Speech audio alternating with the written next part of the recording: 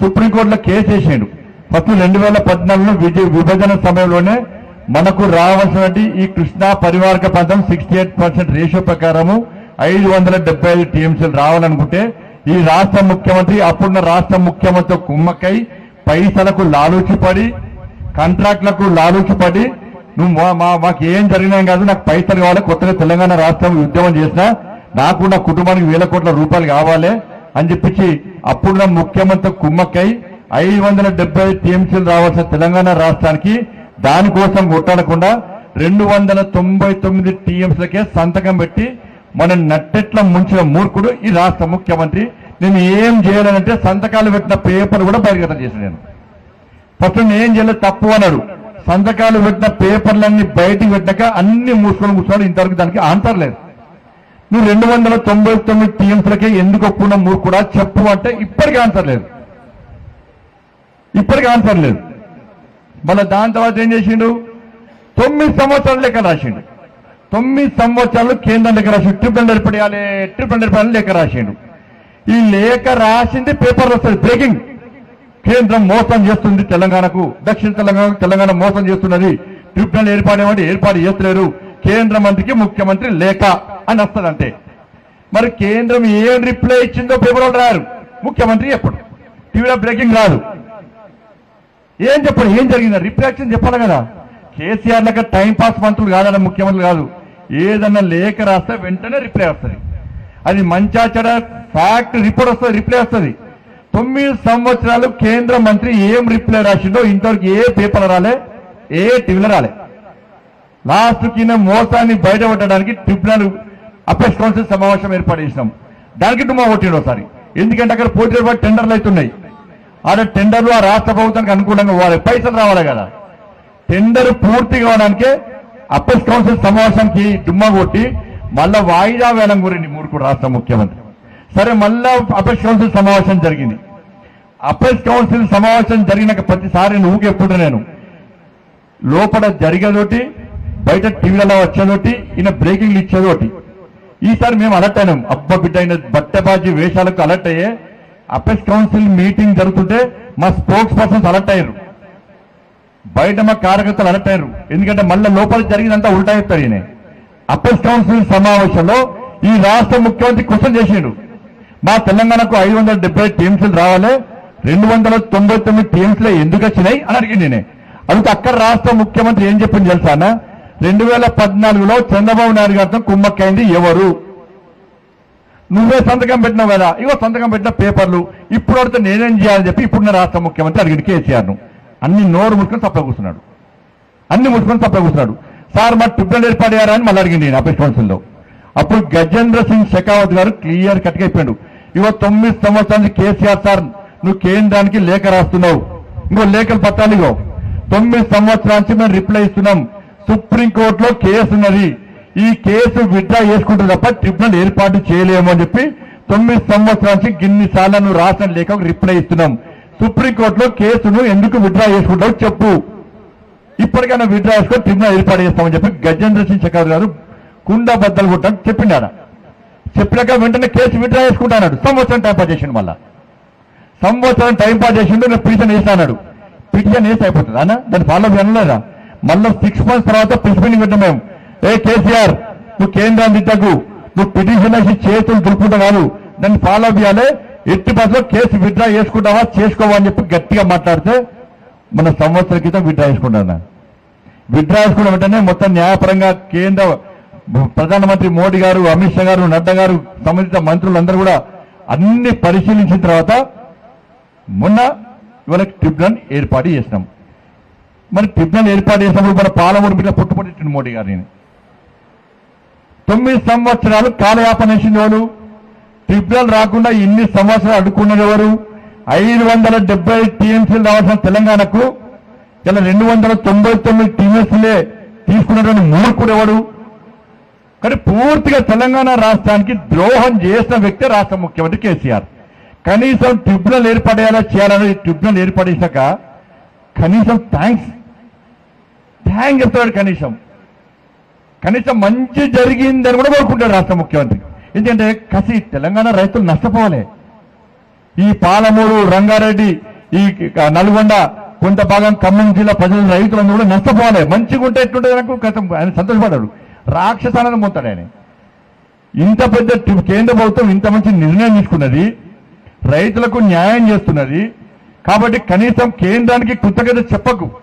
కనీసం రైతులకు న్యాయం జరిగింది అని చెప్పి కనీసం సంతోషాన్ని వ్యక్తం చేయనటువంటి మూర్ఖుడు ఈ రాష్ట్ర ముఖ్యమంత్రి. ఏం పుట్టింది నీకు నోరేసి ఒక్కసారి థ్యాంక్స్ తెలంగాణ రైతానికి న్యాయం చేస్తామని చెప్పి నోరిత ముత్యారాలతే అని ఏమన్నా మందు రాస్తాయి కాబట్టి మందు వారి మందు పెగ్గుల పేమరైంది ఇంత తెలంగాణ ద్రోహి ఎంత మూర్ఖుడనంటే ఈ ప్రాంతానికి సంబంధించి తెలంగాణ రైతాంగం ఆలోచించాలి.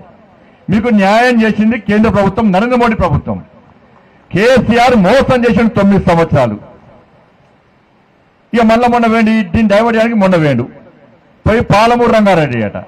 నార్లాపూర్ రిజర్వాయర్లో తొమ్మిది మోటార్లు పనిచేయాలి. ఒకటే మోటార్తో పది లక్షల ఎకరాలకు నిలుస్తారన్న ఇంజనీర్ అంతా వేస్తే పాపం. మీకంటే పెద్ద ఉన్నారే మూడు కేసీఆర్ సార్.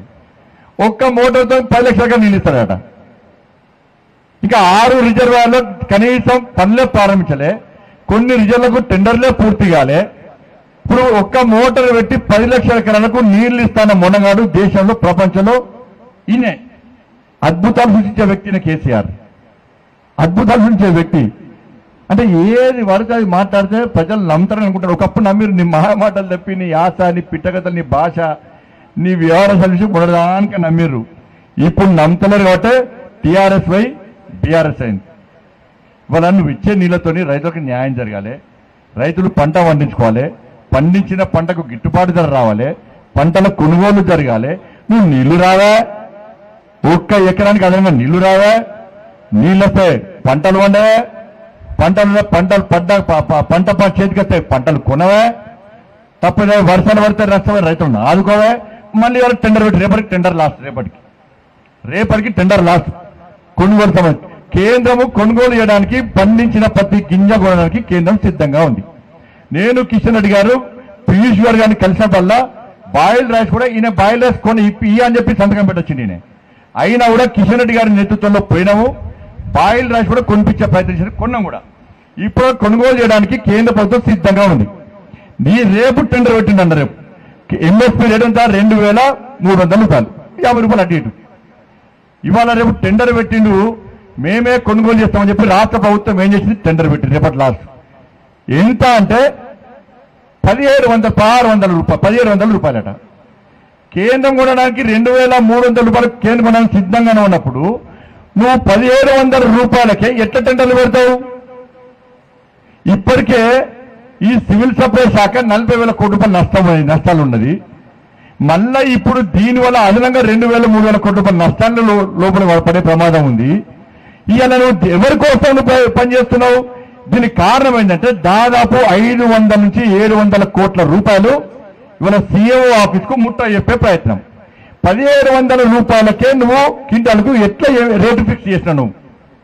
ఎందుకు ఫిక్స్ చేస్తావు? ఎవరికి లాభం చేయడానికి ఫిక్స్ చేస్తావు? చెప్పు నాకు. మళ్ళా దీని ద్వారా రెండు దాదాపు రెండు వేల కోట్ల రూపాయలు సివిల్ సప్లై శాఖకు నష్టం ఇది. లాభం ఎవరికంటే సీఎం ఆఫీస్కి నష్ట లాభం. ఐదు వందల నుంచి ఏడు వందల కోట్ల రూపాయలు చేతులు మానే జిల్లా. కేంద్ర ప్రభుత్వం కొంత అంట కూడా నువ్వు పదిహేడు వందల రూపాయలకే ఎందుకు పెడుతున్నావు నువ్వు? పెట్టాల్సిన అవసరం ఏమొచ్చింది? ఎవరు ప్రజలకే భారం ఇది. ప్రజలకే భారం ఇది. నీ సివిల్ సప్లై శాఖలో రిటైర్డ్ ఆఫీసర్ పెట్టుకున్నావు ఐఏఎస్ ఆఫీసర్ను ఇది ఏదో గలీజ్ బుద్ధి అన్న కేసీఆర్ గలీజ్ బుద్ధి. అరే ఉద్యోగాలు రావాలని చెప్పి యువకులు యువతలు వేస్తూ యువత యువతలు వేస్తుంటే వాళ్ళకు ఉద్యోగం లేకుండా ఏ రాష్ట్రంలోనో వాళ్ళనో వీళ్ళనో తీసుకొచ్చి పదవీ విరమణ పొందిన ఐఏఎస్ ఐపీఎస్ అధికారిని సీఎం ఆఫీసులు పెట్టి ఎట్లా పైసలు చంపాలి ఎట్లా ప్రజలను నడ్డి విరవాలి ఎట్లా మోసం చేయాలి? కేసీఆర్ కేసీఆర్ కుటుంబానికి మంత్రులకు ఎట్లా పైసలు దోచి పెట్టాలని దానికి మాత్రమే ప్రయత్నం. ఎందుకంటే పదవిలో ఉన్నటువంటి ఐఏఎస్ ఐపీఎస్ అధికారులు భయపడతారు వాళ్ళు. ఉద్యోగం పోతామని భయపడతారు కాబట్టి నిజాయితీగా పనిచేస్తారు కాబట్టి గతంలో అవినీతి ఆరోపణటువంటి అధికారులను తీసుకొచ్చి సీఎం ఆఫీసులో పెడితే ఈ తెలంగాణ రాష్ట్రంలో ప్రజలకు పేదలకు కానీ రైతులకు కానీ యువకులకు కానీ ఉద్యోగస్తులకు కానీ తెలంగాణ రాష్ట్రానికి ఏ విధంగా న్యాయం జరుగుతుందో ఒకసారి అర్థం చేసుకోవాలి. వాళ్ళకి అడుగులకు మడుగులు అధికారులను సివిల్ సప్లై శాఖల్లో ఆర్టీసీల్లో సింగరేణిలో ముఖ్యమైన ఎలక్ట్రిసిటీలో ముఖ్యమైన శాఖల్లో పెడితే పైసలు దోచుకుంటారు. ఆ శాఖలన్నీ నష్టాలు ఉంటాయి. ఆ డిపార్ట్మెంట్స్ అన్ని కూడా నష్టాలు ఉంటాయి. ఇది ఇప్పుడు తెలంగాణ రాష్ట్రంలో పరిస్థితి. కాబట్టి ఇవాళ ట్రిబ్యునల్ ఏర్పాటు వల్ల ప్రతి చుక్క నీరు లెక్కగా వస్తుంది ఇలా కేసీఆర్ బండారం కూడా బయటపడుతుంది. రెండు వందల తొంభై తొమ్మిది అంటే శ్రీరామణ రెండు వందల తొంభై తొమ్మిది టీమ్స్లలో ఎంత వరకు బయటపడతావు నువ్వు. ఇన్ని రోజులు ఆ పక్క రాష్ట్రానికి ఎట్లా దోషిపెట్టావో కాంట్రాక్టర్లతో కుమ్మక్కై ఈ ప్రాంతానికి ఎట్లా నష్టం చేసావో తెలంగాణ రైతాంగాన్ని ఎట్లా ద్రోహం చేసావో బిడ్డ నీ బండారం అంతా బయటపడుతుంది ఇప్పుడు. లెక్క లెక్క ప్రతి చుక్క ఎట్లా ఎందుకు వాడుకోలే? ఎట్లా వాడుకున్నాం? వాళ్ళు ఎట్లా వాడుకున్నారు? మనకి ఏ విధంగా అన్యాయం జరిగింది? ఈ అన్యాయానికి కారకులు ఎవరు కూడా మొత్తము లెక్క లెక్క బయటకు వస్తుంది బిడ్డని బండారం అంతా బయటపడతాం. అందుకని భయం అవుతుంది ఏంటంటే మళ్ళీ ఈ ట్రిబ్యునల్ ఏర్పడిస్తే పాత లెక్కలు కొత్త లెక్కలు అన్ని బయటకు వస్తాయి. మళ్ళీ అప్పుడు చంద్రబాబు నాయుడు గారు ముఖ్యమంత్రి అప్పుడు రెండు వందల తొంభై తొమ్మిది టీవీ సంతకం పెట్ట పేపర్ బయటకు వస్తుంది. నేను ట్రిబ్యునల్ కోసం రాసిన లేఖలన్నీ కూడా బయటకు వస్తాయి. ఇవన్నీ తొమ్మిది సంవత్సరాలు ద్రోహం చేసిన విషయం బయటకు వస్తుంది. కాబట్టి ట్రిబ్యునల్ ఏర్పాటు విషయంలో కేసీఆర్ అసంతృప్తిగా ఉన్నాడు. ట్రిబ్యునల్ ఏర్పాటు చేయడం వలన ఈ ప్రాంత రైతాంగానికి న్యాయం దొరుకుతుందని చెప్పి సంతోషం రాష్ట్ర ముఖ్యమంత్రికి లేదు. ఆయన బండారం బయట పడుతుందని చెప్పి భయం మాత్రమే రాష్ట్ర ముఖ్యమంత్రికి ఉన్నది.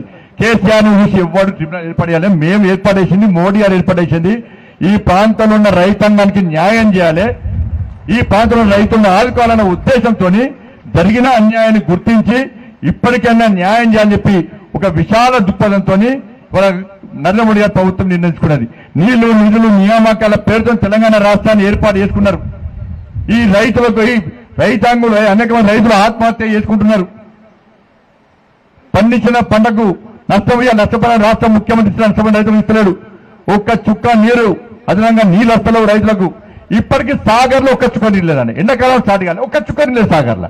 ఒక్క చుక్క నీళ్ళే సాగర్ ఇప్పుడు కూడా. ఎండాకాలం స్టార్ట్ కాలే. ఎవరు కారకుడు కదా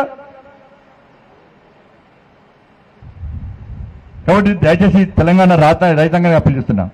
మళ్ళా ఒక్కసారి మళ్ళీ ఇవాళ ప్రకటిస్తాడు మళ్ళీ ఇప్పుడు ఎన్నికలు రాగానే నేను రైతు బంధు వేస్తా అంటాడు. రేపు నుండి గ్యారంటీ అంటాడు. రైతు బంధు వేస్తా లేకుంటే ఇది వేస్తా లేకుంటే ఫ్రీ అప్పుడు ఎట్లా ఫ్రీ యూరియా ఇస్తే అద్భుతాలు సృష్టించడానికే కేసీఆర్ పుట్టినాడు ఆ ఈ అద్భుతాలు అన్ని తెలుసుకుంటారు రైతులు అందరూ తెలుసుకుంటారు.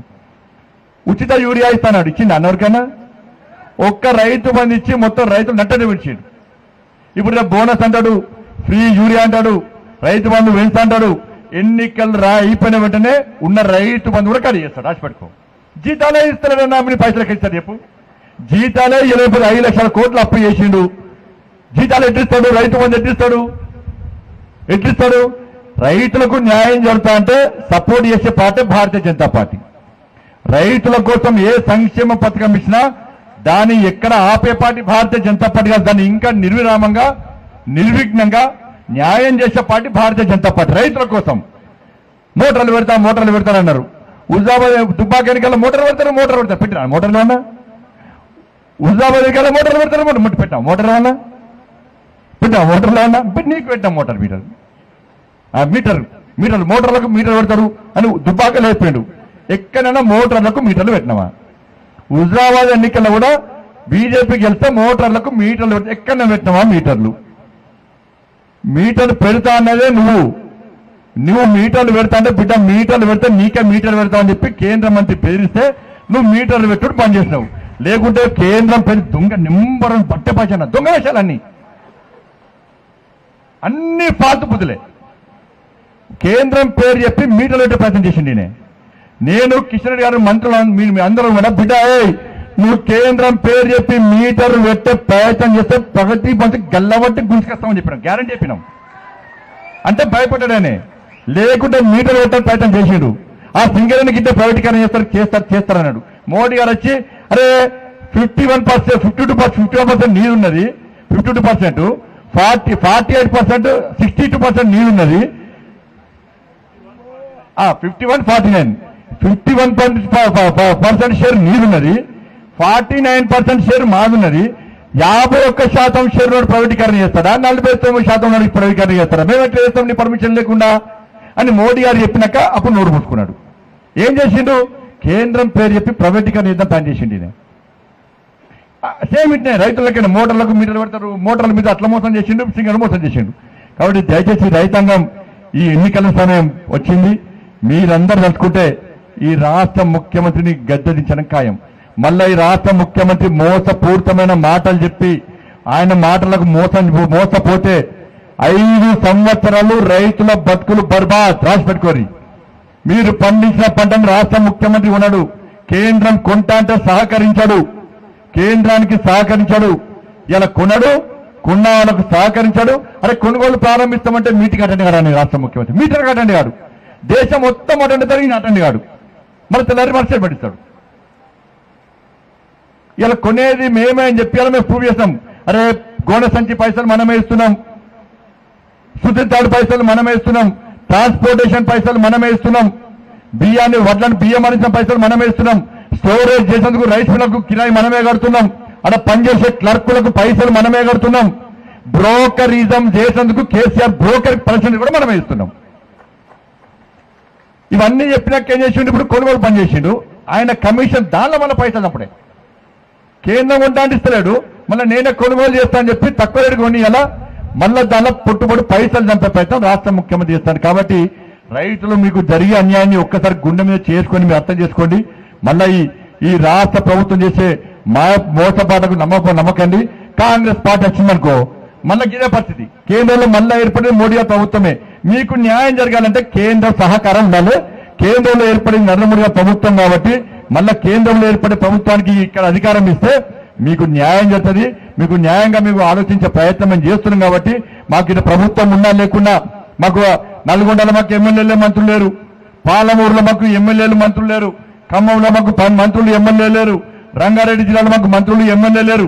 కానీ మాకు ఎమ్మెల్యేలు ఎంపీలు ప్రభుత్వం ముఖ్యం కాదు మాకు తెలంగాణలో ప్రజల శ్రేయస్సు ముఖ్యము ప్రజల బాగు ముఖ్యము ప్రజలు సుఖ సంతోషాలతో ఉండాలనేదే ఇలా నరేంద్ర మోడీ ప్రభుత్వానికి ముఖ్యం కాబట్టి కష్టపడి ఏర్పాటు చేసిన తెలంగాణ రాష్ట్రంలో న్యాయం చేయాలని చెప్పి ఆలోచన ఉంది కాబట్టి అటువంటి ప్రభుత్వానికి రైతులు ఒక్కసారి మీకు ఇచ్చినటువంటి విషయాన్ని మీ సంతోషాన్ని వ్యక్తం చేస్తూ జరిగే పోలింగ్ జరిగే రోజు మీకు చాపల పులుసు గుర్తు రావాలి కేసీఆర్ పట పట పండుగకి ఓటు గుద్దాలే నరేంద్ర మోడీ గారు ఏర్పరిచిన ట్రిబ్యునల్ మీకు గుర్తొచ్చి పువ్వు గుర్తు మీద ఓటేసి నరేంద్ర మోడీ గారికి ఒక స్వాగల మీకు రుణపడి నరేంద్ర మోడీ గారికి ఓటు అనేటువంటి ఒక గిఫ్ట్ ఇవ్వాల్సిందిగా మీ అందరికీ విజ్ఞప్తి చేస్తూ ముగిస్తున్నాను. భారత్ మాతకి జై జై శ్రీరామ్ జై తెలంగాణ.